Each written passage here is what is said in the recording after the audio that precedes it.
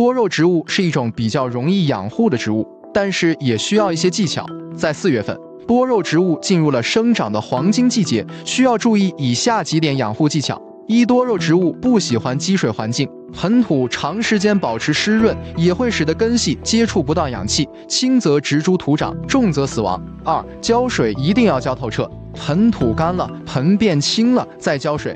三、多肉植物喜欢光照。但是太阳光直射会使得叶片变色变形。四多肉植物需要适合的土壤和大小合适的花盆。多肉植物的养护技巧是一个比较专业的话题，需要我们认真对待。在养护过程中，我们需要注意多肉植物的生长环境、水分、光照等方面。如果你想让你的多肉植物健康成长，那么就要认真对待这些问题。首先，我们需要注意多肉植物的生长环境。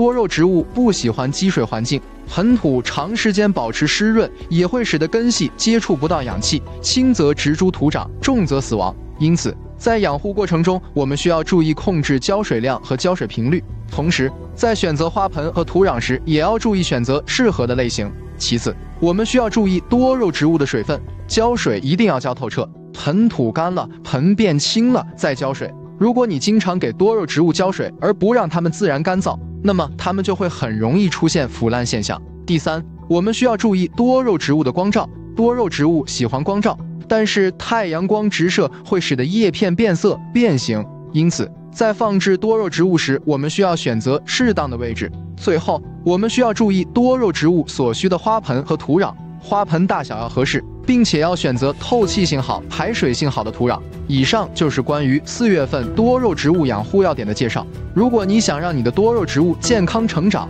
请务必认真对待这些问题哦。